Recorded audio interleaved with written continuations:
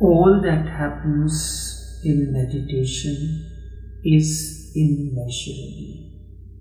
We live according to economic standards and measure everything in terms of money. Economics says money is the measuring rod. But in the field of meditation, this becomes redundant. There is a story about Jesus that Judas sold Jesus for a mere 30 silver coins. This is strange that someone can sell a man like Jesus for 30 coins. You also do this. Then it does not matter if you sell for 30 coins or 30,000. A measurement is measurement.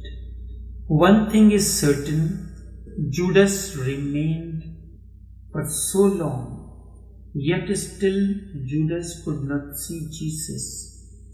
So when someone offered thirty coins for his whereabouts, Judas. To Judas, thirty coins were more valuable than Jesus. You see only that which you can value. People always inquire what will happen if I go into meditation. Man is profit oriented. Everything he measures business like. Everyone wants to know if meditation can lead to this or that. If meditation can get him a better job or can lead to God.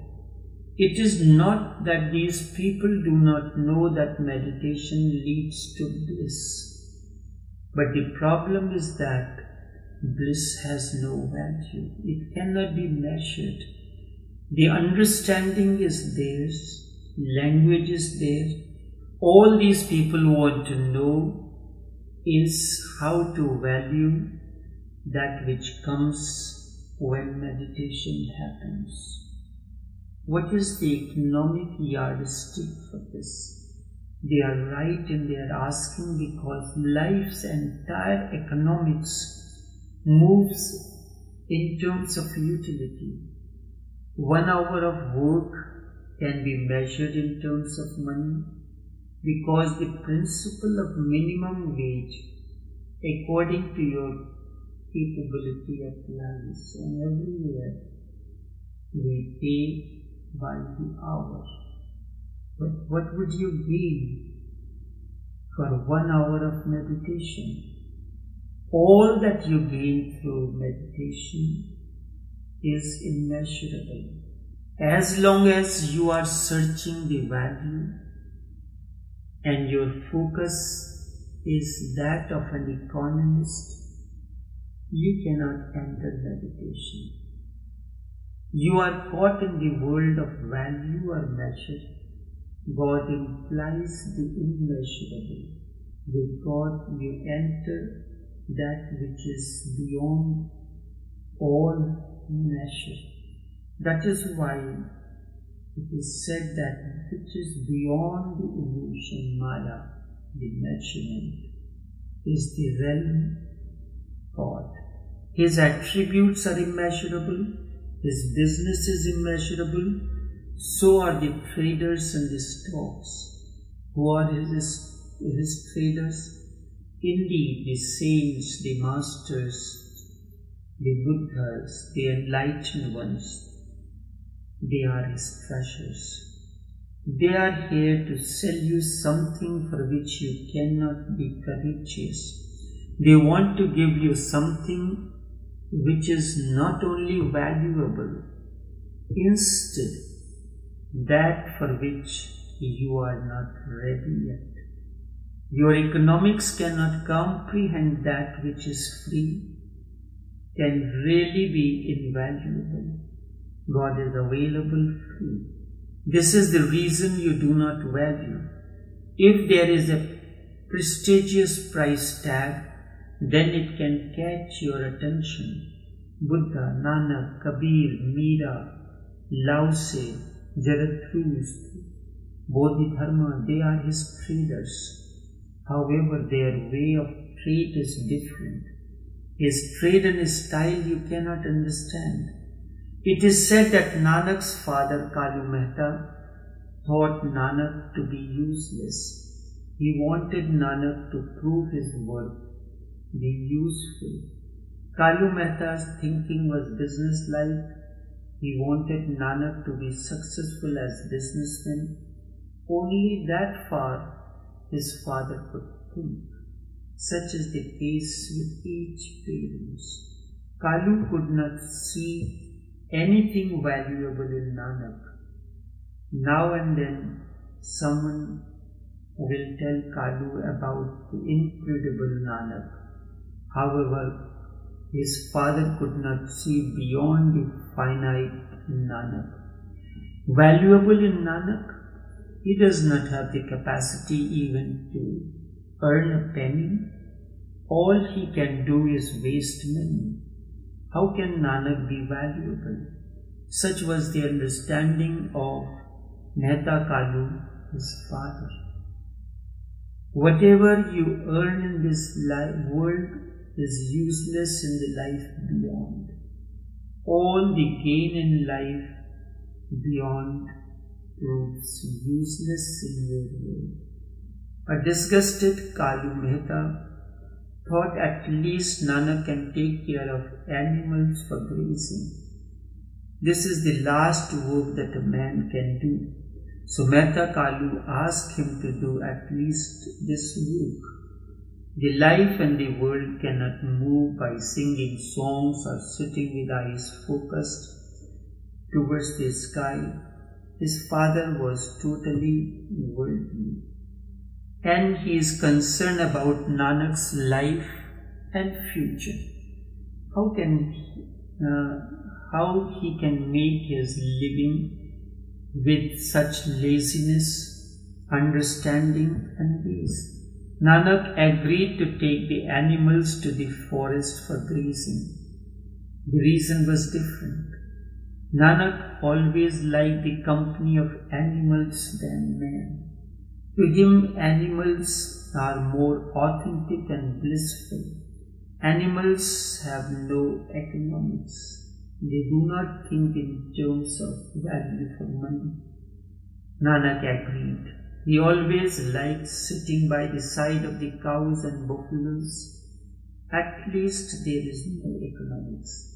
As silence surrounds the animals, there is no profit and loss situation. Animals leave themselves along his will and breeze.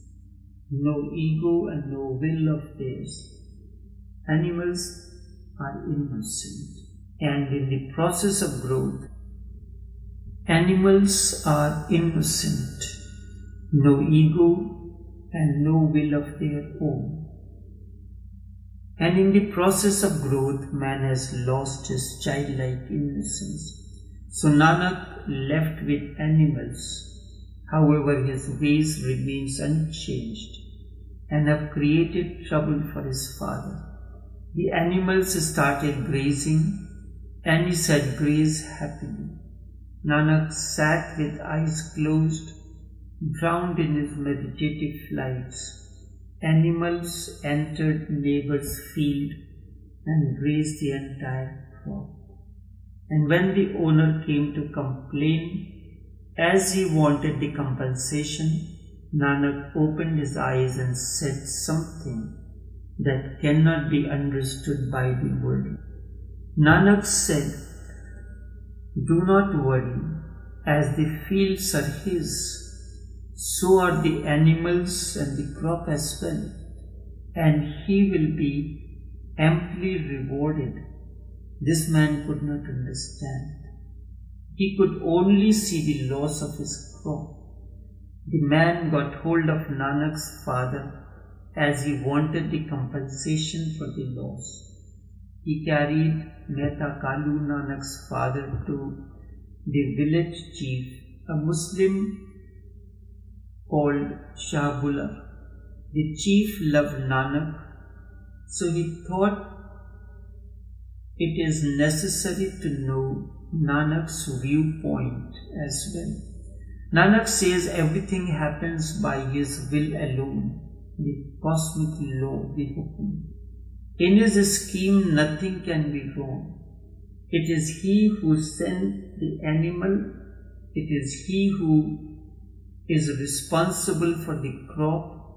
When the crop can grow once, it can grow a second time again. And not only a second time, instead of thousand times. There is no question of any loss. The man insisted that the field be visited as proof of his claim. The story says when the chief went with the man to the field, it was found the crop was intact and there was no loss. It was found that the crop in that field was incomparable to other fields. It is important if this happen like this or not. Certainly it gives a sublime message. One who resigns everything to the cosmic law or the divine will is benefited. Nanak left himself to his hukum and the crop that happened in his life is incredible. One only has to be courageous to take such an approach in life. The owner could not believe all that he saw. The greatest miracle in the world is to leave everything to the divine will, to hukum, the cosmic law. And then things will begin to happen miraculously even beyond your understanding. No human intellect can understand this. There is no rational explanation for this. The only explanation is one who leaves everything on him in his life. Every day, miracles happen. You cannot find any intellectual explanation for this. You cannot find any intellectual explanations for this. Whenever the immeasurable enters in your life, things happen like riddles. These riddles are the secrets which have only one explanation that now you have moved from the realm of the finite and quantification to immeasurable meditation has begun to happen. From the finite, you have moved to the infinite realm. The unknown has now entered in your life. As soon as the unknown enters in your life, miracle begins to happen on a day-to-day basis. And you can now start reaping the crop of miracles. This is the immeasurable part of the meditation. Nanak is a trader, but of a different world. We have always ill-treated such traders of the other world. We crucified Jesus, we poisoned Socrates, we tortured Al-Hallaj Mansur, and even if we did not poison or crucify them, we did not listen to these traders of the other realm. Even if we worship these people, yet still we never heard them. Worship is a stick, worship is a trick of the mind. We say you are indeed great. How we can reach you? You are high up there and I am here. There is no way that we can become one like you. Even with your worship, you remain the same. Your worship is false, and even with all your worship, you remain unchanged. That will simply mean it is false. The only criteria of a true worship is that it should transform you. It should sow the seeds of transformation. You pay respect to Nanak and yet still remain the same. These are all the of the mind. try to understand a single word, and a single word is capable to transform. These are the respecting the person is not important, understanding him is important. You go on giving so much arguments, your time has not yet come. You still have too many unfinished responsibilities in the world. You postpone for tomorrow. Your worship and ways of respect are all false and full of tricks. People of Athens could not tolerate Socrates, so they poisoned. Jews could not tolerate Jesus, so they crucified him. Indians are little more sensible. We neither poisoned nor crucified Nanak, Krishna, Kabir, Ram, and Buddha. Instead, did we worship them. Remember, Jews are not free of the guilt of crucifying Jesus as yet. Such thing creates guilt within. Jews are not free of this guilt as yet, and they can never be free of it. Again and again, the guilt keeps on reminding them. This keeps them reminding Jesus. We got rid of such people. Such people do not create any ripples in us. We will worship them, and worship is the simplest way of getting rid of such people. The real question is not that of worshipping Nanak, instead is a question of becoming one like him. And that you can do only if you understand a single syllable and started to start bringing in practice. It happened that happens on a day to day basis. People consider this money is mine, the my money, your money. When everything belongs to God and it comes from God, who are you? Is the money really yours? I am simply a custodian of the money that I have. I have been given a certain amount of resources in the form of finance, in the form of intellect, and what am I supposed to do? Utilize it for the benefit of humanity. Just as I am the managing director, the company has put his trust, put their trust into me to manage the affairs. And as I manage the affairs efficiently, my perks go on increasing. So too, if you are thinking in terms of economic aspect of it, this is what happens. God has given you wisdom, God has given you financial resources. You are this custodian. You are carrying on his business, bringing people. What is his business? Bringing people more and more into his fold. And the more successful you are in that, your perks goes on increasing in the same way. You are not a salaried person.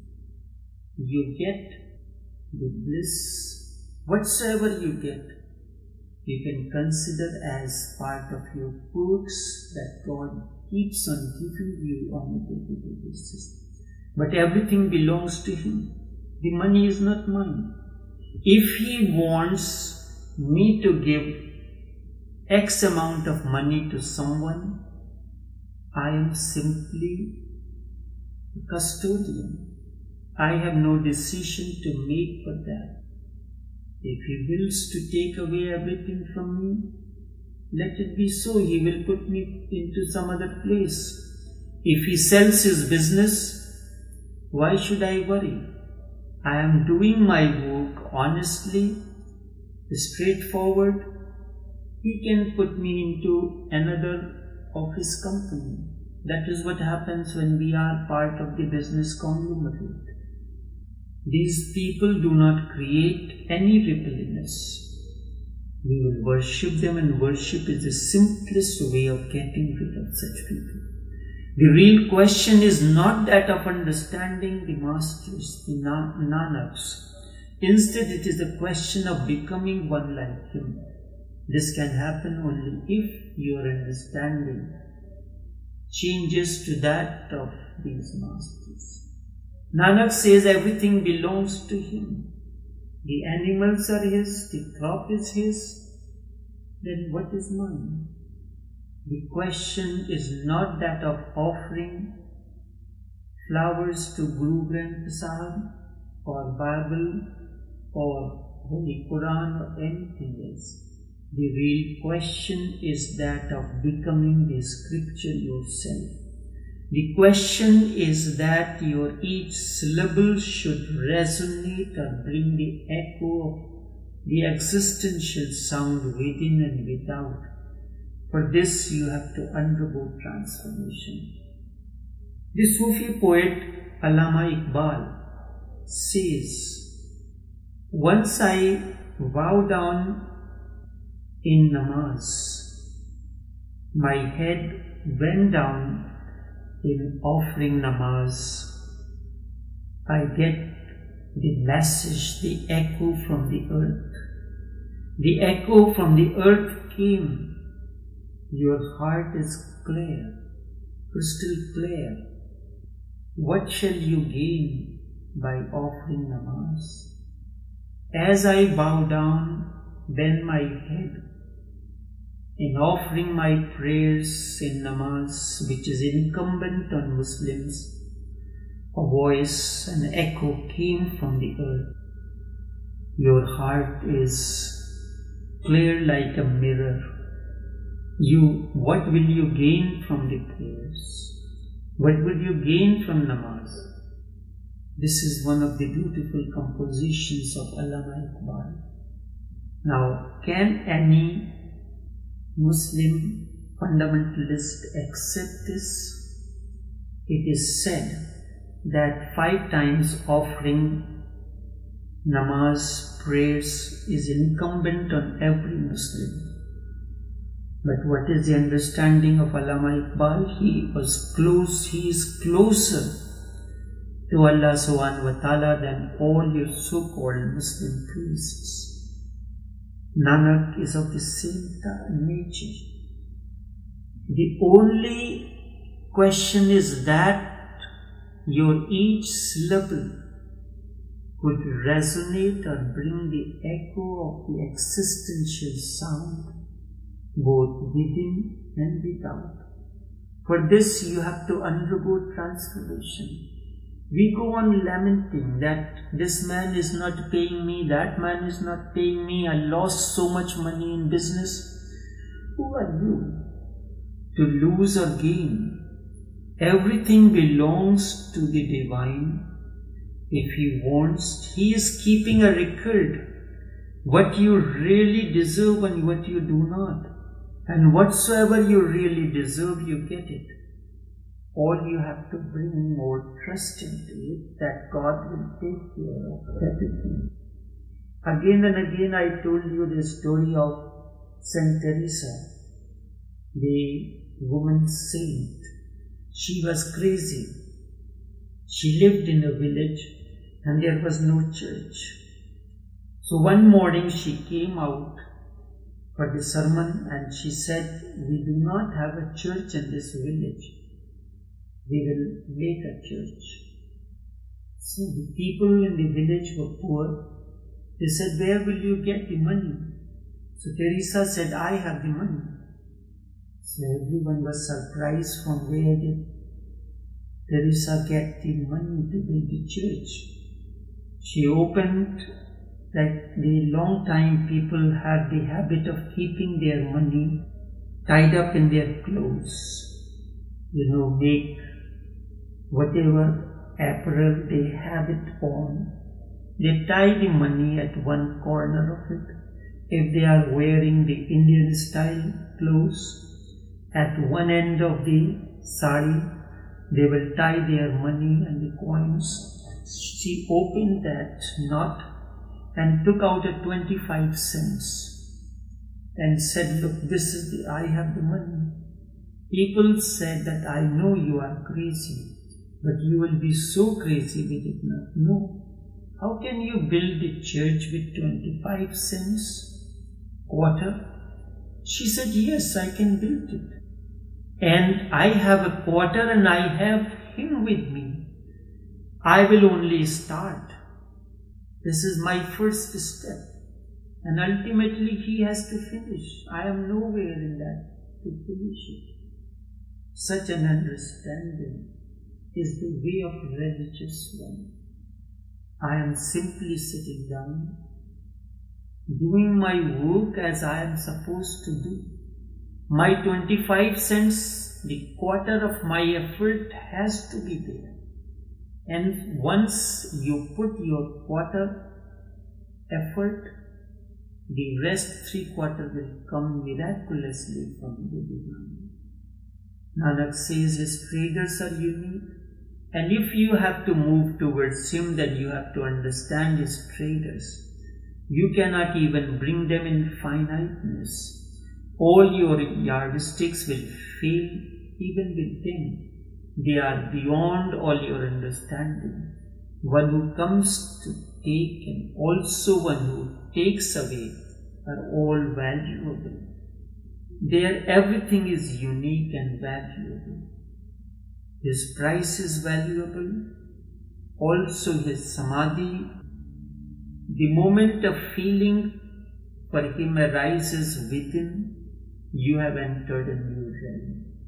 Nanak says his awareness, remembrance, and feelings sends you in a different realm. When his name attains fruition, then his name alone is samadhi. Try to understand the difference between feeling and samadhi. Feeling means a glimpse. Feeling means that for a moment you are drowned in him. It is like someone taking a dive, and the next moment you are out of water. As long as you are in the water, after the dive, His presence surrounds you. This is the meaning of the feeling. Feeling means a thought comes, a feeling comes into you about a person or something, as if you are drowned into His presence. As long as that feeling will remain, you will constantly think about that person, that thing. You are almost drowned into His presence. And this is the meaning of feeling. That's why Nanak says feeling becomes samadhi. There was another master during the time. His name was Sheikh Farid. One day he was going to the river for a bath. An aspirant asked him the way to attain to God. Farid asked the man to follow him. On reaching the river bank, he asked the man to take a bath first and then, if he gets a chance, even while taking the bath, he will definitely show the way. This frightened the man.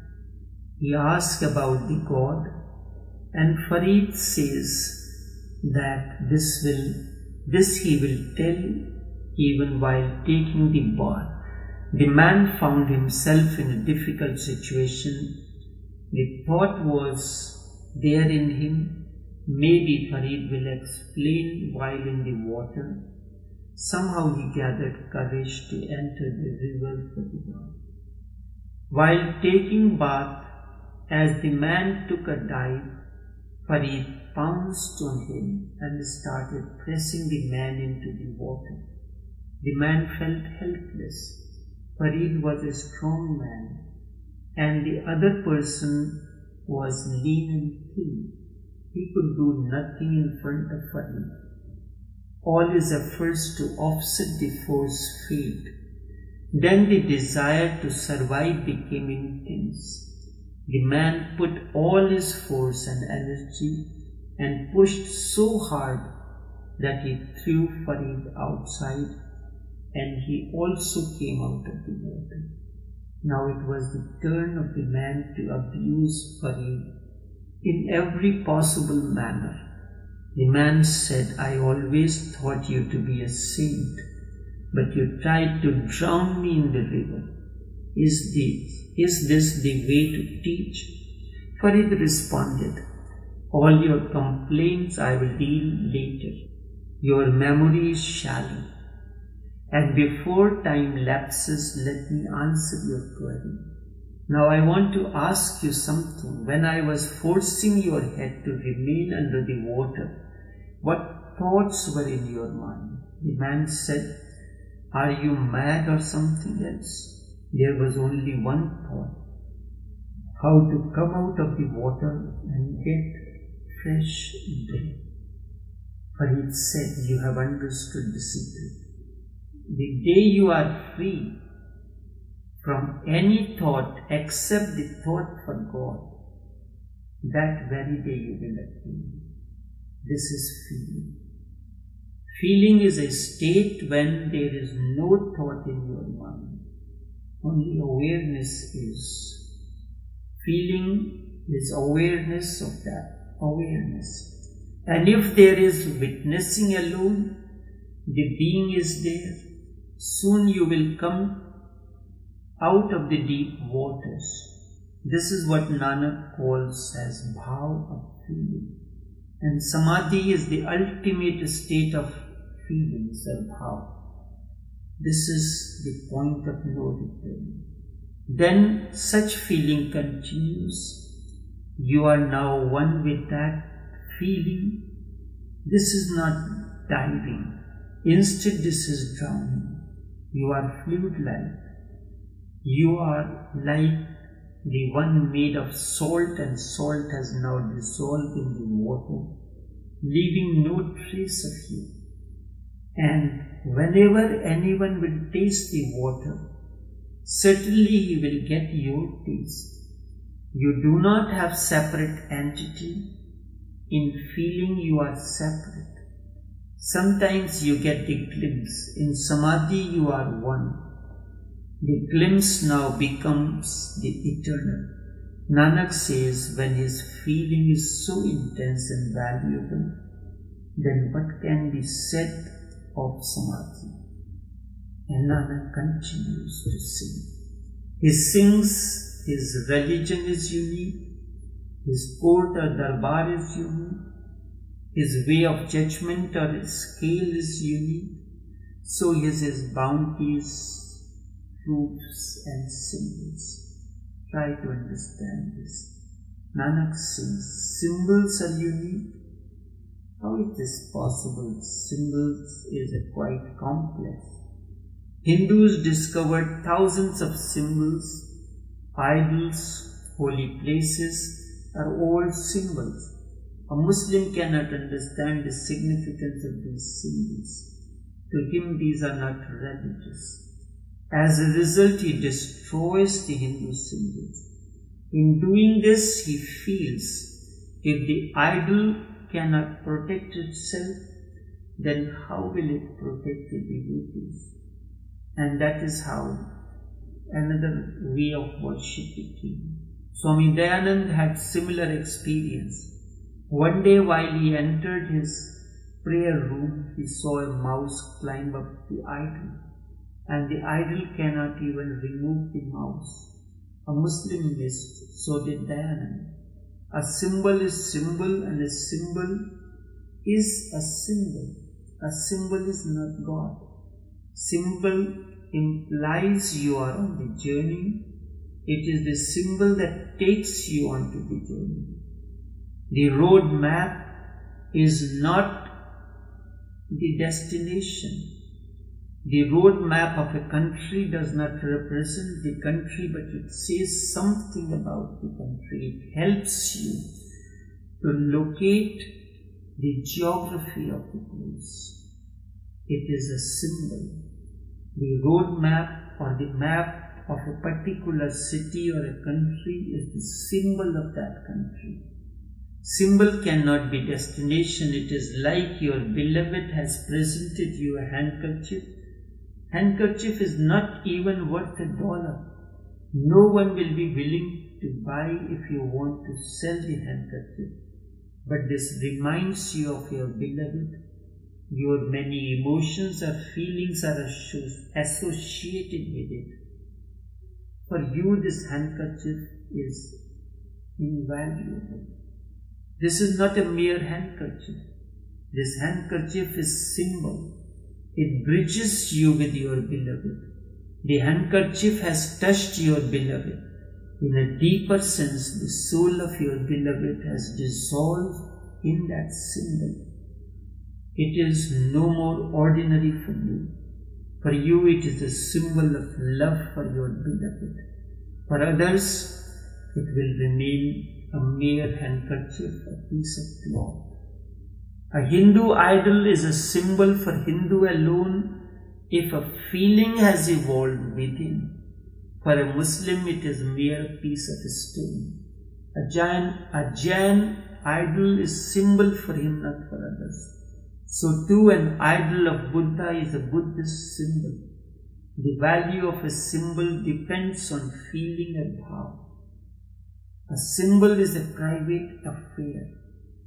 One whose feelings are attached with the symbol really knows its value. For him it is unique and precious. Never disrespect any symbol. You know it is an ordinary handkerchief. It is an ordinary teddy bear. But many emotions of the child are connected with that. It is close to your heart. You can bring any number of handkerchief or teddy bear, but none will be as precious as the one close to your heart. This is an individual happening. Nanak says his symbols are unique and precious. He is precious. If you have reached him through a symbol, that medium is also precious. This is most sublime message of Nanak. All symbols are unique because these take you to your destination, your symbol of love. A symbol can not be right or wrong. It is simply a device. It bridges you to your beloved. Strangely enough, a Muslim can see the futility of Hindu idols but he cannot see the futility of his symbol, the Kaaba. Every Muslim kisses the Kaaba, and so many kisses have been placed on this stone that is incredible. It is difficult to find such a stone with so many kisses. A Muslim feels like kissing a Kaaba. This is a ritual, this is sublime. At the same time, he feels like destroying all Hindu stone symbols. What an understanding in the name of religion. A religious person understands a symbol is a private affair, sometimes which is not a symbol for me can certainly be a symbol for the other. A symbol cannot be proved publicly. In the name of religion, this is happening. Symbol is connected with inner feeling. Feeling is an inner happening, something that happens deep within you. For someone, a Bodhi tree is a symbol, respect it. Never question his love and trust. Puja can happen in any way. It is a spontaneous. If you analyze scientifically a Bodhi tree, a handkerchief, a stone, a marble statue is matter. Religion is the realm of love. Religion is the culmination or diffusion of love, not a matter of logic and intellect. Everyone carries his symbol, and problem arises with the symbol of others when you preserve your love symbol and let others carry their symbols as well. If a Gautam can be enlightened under a Bodhi tree, what is wrong with it? If someone starts dancing around the tree and can be blissful, that is precious. Wherever your heart begins to dance out of ecstasy, many a Kaaba, many a Bodhi tree will mushroom in your being. An entire existence is permeating with subtle presence. This is Nanak's way of glorifying Him. His bounties are precious. His grace is not only precious, instead infinite as well. So is His cosmic law He is more precious than precious itself. This cannot be described. Many attain to meditation in the process, and a rare one attains to enlightenment along the way. This is the only purpose of enchanted hymn. Understand this? Again and again Nanak says there is no way to glorify him. And yet still an ecstatic Nanak goes on glorifying him. In so many words, Nanak glorifies him. With this, an intellectual riddle comes. Many ask, if this is so, then why Buddha spoke for 40 years? Or why Nanak goes on singing like an intoxicated one? Or why did the other masters speak? Or why do I go on overflowing even after so many hours of course, try to understand this.